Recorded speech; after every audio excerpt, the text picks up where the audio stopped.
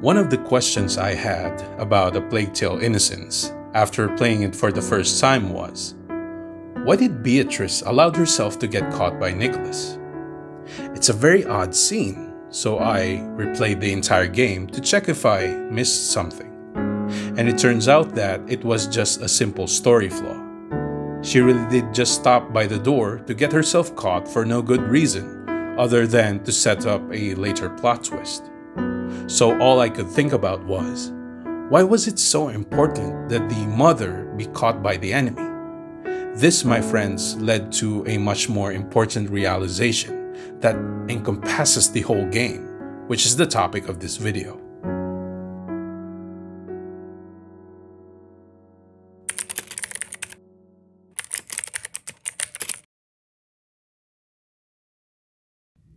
If you played the game already, you probably noticed that the main protagonists and supporting characters are all young people. And that's no coincidence. I think that's the design intended by the writer, which actually ties in to the incarceration of Beatrice. If she made it out of the manor along with the siblings, then they'll just be following their mother's orders instead of going on a journey into the world by themselves and be forced to make tough decisions, and do mature actions at a young age, which, in my opinion, is the underlying theme of the whole game. Back during the 14th century, the idea of childhood is very different from the modern world. Today, one is officially recognized as a young adult at 18. Back then, a person is already considered as one by the age of 12. In this age, you became a man at 12, and from then on you were expected to participate in manhunts for dangerous criminals. In early medieval society, you were considered an adult by age 12 in the eyes of the law. People did not live long lives back then, so adulthood started early. As mentioned in the latter clip, the shorter lifespan of people back then most likely had something to do with it. Apart from armed conflicts like the Hundred Years' War portrayed in one chapter, or a virulent disease like the plague caused by the rats, getting sick in general was life threatening, as medicine was still based on the four humors, which is antiquated.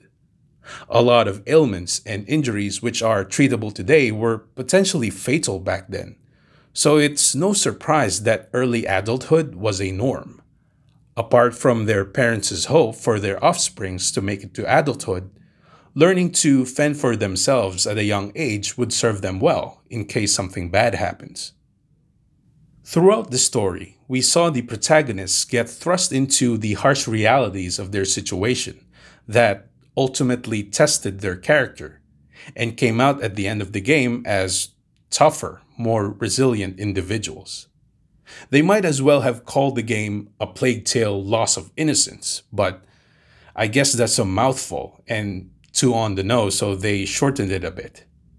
It's quite interesting that throughout the game, we saw glimpses of the fact that these people are just kids. No, no, no! Loose the dragons!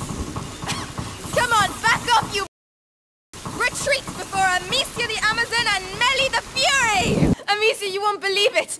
Rodric beats Arthur at the sling! That's not true, he was in front of the line! You're just rubbish! oh, you two are arguing again. But at the same time, we, the player, get reminded ever so often that as life moves forward, something inevitably gets left behind. I hope they're alright. If the rats have got in... Amicia, they're not kids anymore. They're used to it. Ready? I'll show you I'm not a child anymore. You never found anything? No. And I was really good at searching. But there are two of us this time. And you're not a child anymore. We'll find it. Thank you so much for watching. I'll see you in the next video. So let's go. To the death. To the, to death. The death.